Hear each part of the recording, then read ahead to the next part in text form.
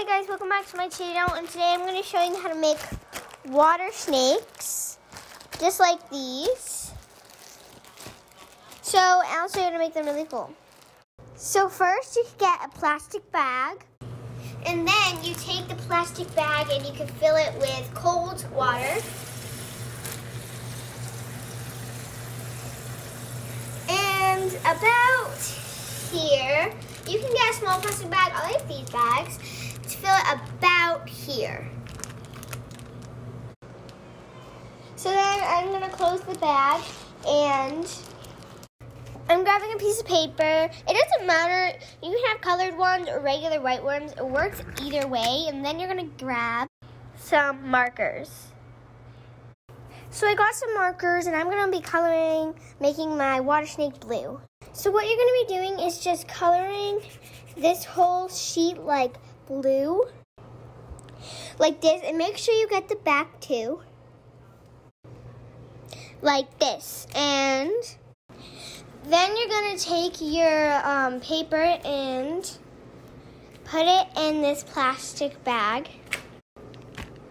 Like this. And you're just going to let it sink in for a little bit until it turns the color. So you can just wait a few minutes because it's already starting to turn blue as you can see.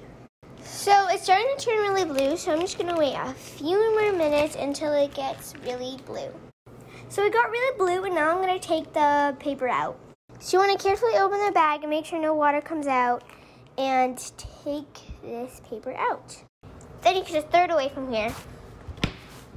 So, so it should be looking like this. I think I'm gonna add a little bit more water. Okay, so I added some more water. And after that, you wanna carefully take all the air out. So you wanna make sure that you get no water.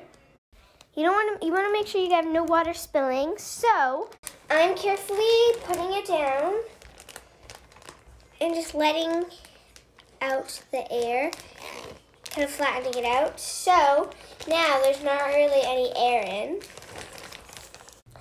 So after that, I like to um, double bag it just so it doesn't leak. And sometimes I even like triple bagging it just to make sure. Um, so I'm just carefully putting it in the bag so to make sure it doesn't leak or anything. Because you don't want it leaking everywhere because that'd be a disaster. So then after I put it in the bag, I just zip it up and I make sure that there's no air in the bag. There's still a little air, so. Alright. Now that there's no air in the bag, then once you double bag it, it should look like this. And be very careful when like double bagging it or airing it out so you don't spill any water. So next I like to take some tape and then I fold this over and I tape it like this. So this is how I tape it. I just go like this and I fold it over. It's on, you know, side like that. And then I take tape and I just tape it down. Don't worry, it's gonna look really good. Um, I just tape it down like this, and then I keep putting tape on it.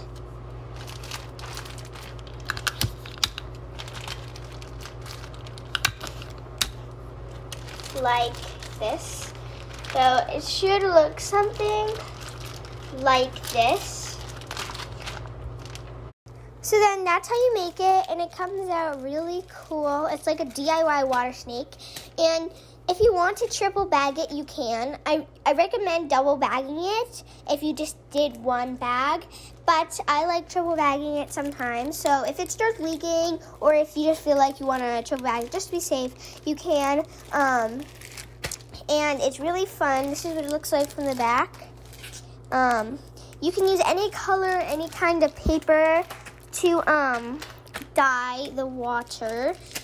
And this is how you make it, and it's really fun to play with. And you can also add glitter, pom poms, or like toys, small toys into this. Make sure this doesn't pop um, to make it cool. So that's how you make it. Bye, guys.